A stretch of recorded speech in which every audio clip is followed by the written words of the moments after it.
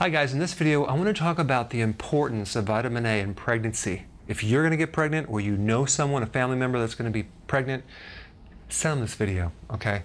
Now, I don't know how long ago, but there was a change in the RDA, the recommended amount of vitamin A in a, in a prenatal.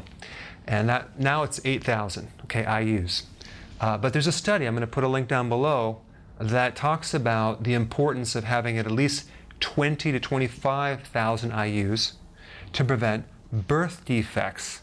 Now, there's three forms of vitamin A, active forms of vitamin A. Retinol, retinal, and retinoic acid. There's, if you actually have see a prenatal, you'll see usually something called beta carotene. That is a precursor to the active form, and only a small amount of it is converted, okay?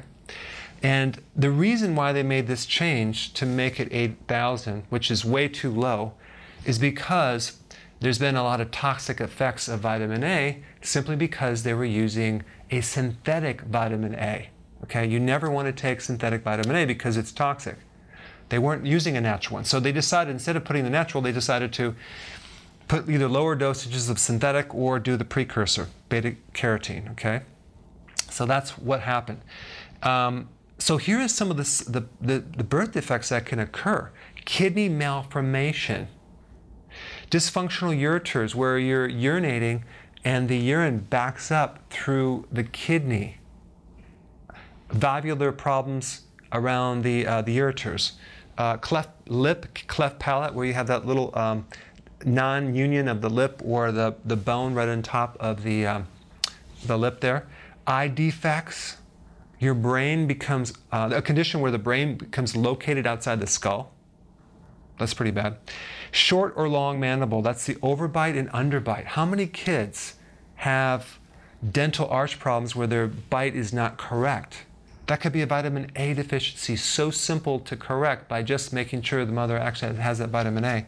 So there's two good sources that I would recommend. One would be cod liver oil. Make sure you get the virgin cod liver oil, that's the top of the line.